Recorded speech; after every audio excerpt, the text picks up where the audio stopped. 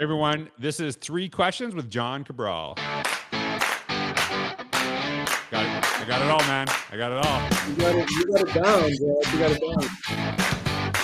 Hey, John, thanks for being on the podcast. And for those of you who don't know John, he is actually a superintendent in the Massachusetts area. How, how I always have problems with this. Ta- Taunton?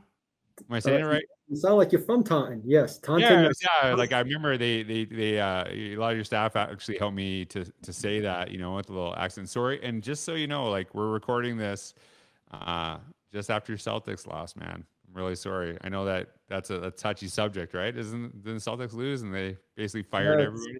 Yeah, actually, that was one of the highlights of the first time you spoke with us. People were enjoying our back and forth about your Raptors and my Celtics. Yeah, I remember that. So, so maybe that's why I had you on the podcast. Is a little, you know, payback for knocking out the Raptors and all that's gone. Anyways, John, thanks for being on the podcast. And uh, you, you know, you're a superintendent now, and we've had such great conversations, and I've loved connecting with you and your staff, and just, you know, I know you're doing amazing things. So when you look back at your career, and you look back at, you know, all the incredible teachers that you work with, um, and maybe a teacher that you had, like, who is a teacher that sticks out to you, and why? Yeah, Joe, I think of two teachers, uh, really, if I want to be honest. I think back in fourth grade, I had a teacher by the name of David Amaral. And what strikes me the most about David Amaral was uh, my family immigrated to the United States in 75.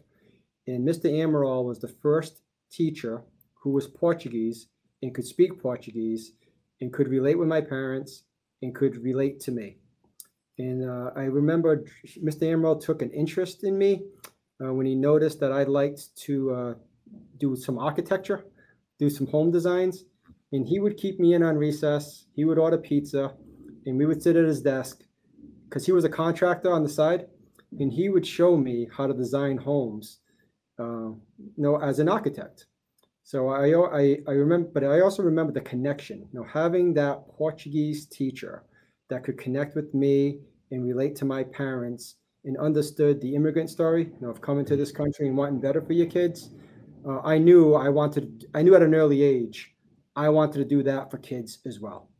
And then my, the second person who really made me want to be a teacher was actually somebody who's a teacher now in the Taunton Public Schools. Best man in my wedding, uh, one of my best friends, and I was the best man at, at his wedding, is a teacher by the name of Tommy Kerr, who's going to be retiring next year. I met Tom when I was in seventh grade back in 86. He was doing his student teaching at the Henry Lord Middle School in Fall River. And again, we just we just connected. You know, when you when we talk about connecting with kids and getting to know your kids beyond the X's and O's, beyond the ABCs, you know, we could talk sports. Uh, we would I would see him at the CYO because he was coaching down the CYO, and then I got to play for him. I would see him in the Babe Ruth baseball leagues, and he was one of my coaches, and he was good friends with my coach. And so Tom was just somebody who, you know, was there for me in middle school. He was there for me during difficult times in high school. Helped me with the college process to write my essay. Helped my parents who, again, don't speak English, don't write English, understand the financial aid piece. He even drove me out to college. Uh, So that, yeah, and, and would show up at the airports to pick me up. I went to school in Illinois, so he drove me out to Illinois uh, with my buddy Vinny, helped get me settled there. And then with him and another good friend of mine who, uh, you know, a servant leader, uh, Reverend Jay Maddock. Uh, again, just all about lifting and helping others, you know, giving that gift forward that they were very fortunate to receive. And um, I, I knock on wood that I'm blessed to be a superintendent, to be an educator Mhm. who can help kids and help families in similar backgrounds, or with similar backgrounds, you know, achieve their life dreams. And we just had a high school award ceremony, and that was part of my speech. Part of my speech was just reminding kids that you have a gift. You've been given many gifts throughout your education. You know, pay it forward and help lift others the way others have helped to lift you. And that, that that to me, like when when I was thinking, and we have uh, we were talking before the podcast, we have a very similar story. My parents are obviously immigrants uh, too, and I think for part of my childhood, I was like, I remember being embarrassed. You know, my parents would speak Greek, and I'm like, don't do that. You know, and and uh, I felt the teachers that you know made me proud of my heritage, right, and made me see that it was a really good thing, and that that to me really resonated um, with me because you know you're you're uh, we're in a new a different situation uh, and really to become proud of that and understand like that is you know uh, one of the best things about what we do in education is is that those differences are to elevate are to make us better. And and just you know amazing to have those stories. And and you and uh, is Tom is Tom in your district right now? Is he's in your district. Yeah. What, what's funny was um so he, when you're I, his boss now, like that's what. His, I'm his boss. Everyone thinks I'm older than Tom, but yeah, I'm his boss now. So Tom, uh, this was in Fall River. So Tom ended up getting a job in Taunton. Yeah. Um, I came back from college. I was working in Fall River, and I yeah. applied in Taunton, and we were teachers together. Tom has always remained in the classroom. Yeah. I've I've encouraged him many many times to get into administration because he, he is just an amazing teacher and he's an amazing individual. Yeah, and and and proves how you can lead from any position in education, right? And be such an influence. So I'm going to give them David and Tom a big shout out. Anyways, so don't forget Jay Maddock. oh, and Jay Maddock. Yeah. So, hey, now, so speaking of administrators, right? And specifically because uh, the reason I use the terminology administrators, and you just really highlighted this, is that when I say leaders, I actually that could be any position, but administrators specifically. When you think about the administrators you had, you know, maybe as a kid, the ones that you work with right now, like who is one that stuck out to you and why? Yeah, mean that that's a great question. And uh, Ray O'Malley, he was so when I was teaching at Parker Middle School here in Taunton, uh, I had been in the classroom for about a year and a half, and then uh, Ray O'Malley was the new principal at the Parker Middle School, and he saw something. Uh, he saw something, and either he saw something or he didn't feel like doing his own MCAS, which is our stakes test. He didn't feel like doing his MCAS analysis. So Ray, Ray started giving me little projects on the side, and I really enjoyed analyzing the data and showing Ray the trends yeah. uh, early on. And so Ray started giving me assignments, started putting me in positions, and really started coaching me up uh, to think about becoming an administrator. So I, I got to give Ray all the credit in the world. And I also want to say, as far as learning to be a leader, how to be a servant leader, uh, I would say Jay Maddock. Uh, I was working at the Fall River CYO, uh, covering the front desk, opening up on Saturdays, locking up on Saturdays and Sundays uh, while I was still in high school. I want to say like a senior or junior in high school. So at a very young age, uh, Jay Maddox saw some potential in me to be able to lead, and so that I I, I must be responsible because he trusted me with that building, uh, and, and all the gate receipts. Uh, so I think those two were the ones who really pushed me towards being leaders. But as far as being a leader in education, Ray O'Malley was the one who um, really coached me up and put me on that path towards being a, a, a, a school administrator.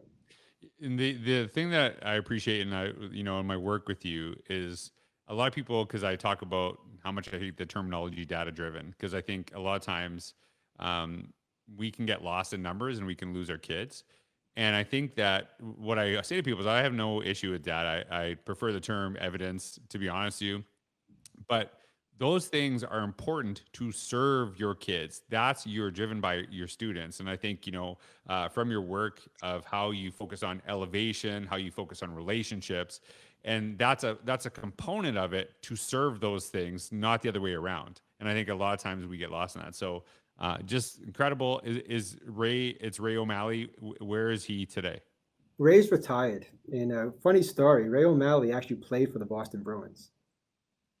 So I was, I actually recognized the name when you said that, and I thought, "There's no way." Yeah, he had a cup of coffee with the Bruins back in the I want to say early to mid '70s. Phil Esposito.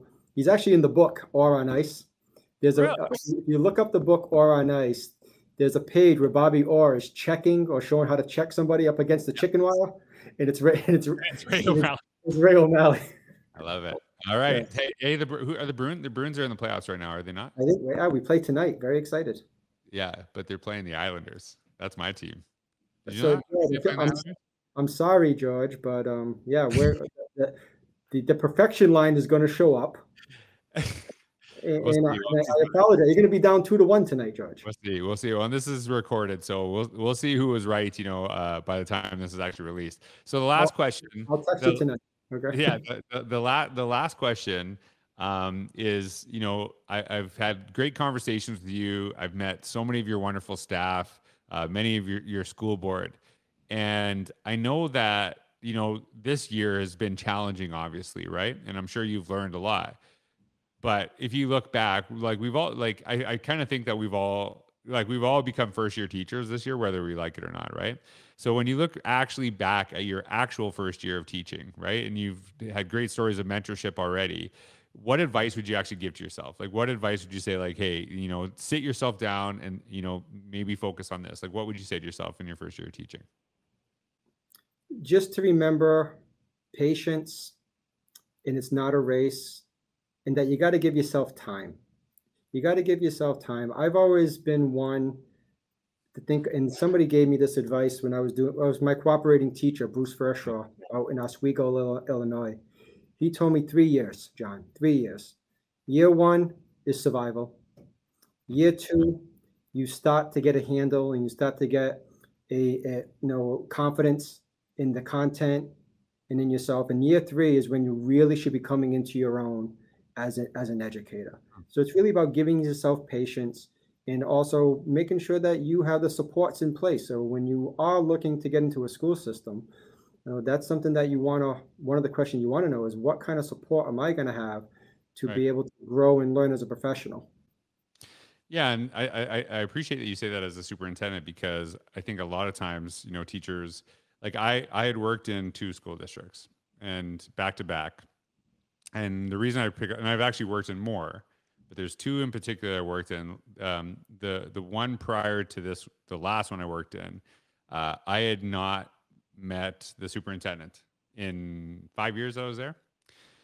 And in my second school district, which was larger, I met the superintendent before I even started on my first day. And we actually met all of our, um, we met all of the central office staff. They said, like, hey, here's what we do, here's how we support you, uh, here's the things that we knew. And I made those connections immediately. And it was just a very different tone. And now i know like you know district leadership changes. And you know i'm not saying that school district still does th- those same things. But that that is a lot of times that if we want people to be successful we have to be there to be supportive and so when i um, have connected with your staff and i've connected and just kind of how highly they speak of you and the work that i see you doing i know that you don't just say that but you actually you know bring that to fruition so i know a lot of people uh, in education appreciate when they know um, their central office. Uh, like I always say this, the higher you go up in or, any organization, the more people you serve, not the other way around. So I appreciate that you model that by example. And uh, John, it's awesome. Sorry about uh, the Bruins going to lose tonight. So That's I apologize for that. but we'll, we'll find out when this is recorded. Anyways, thanks for listening. Have a wonderful day.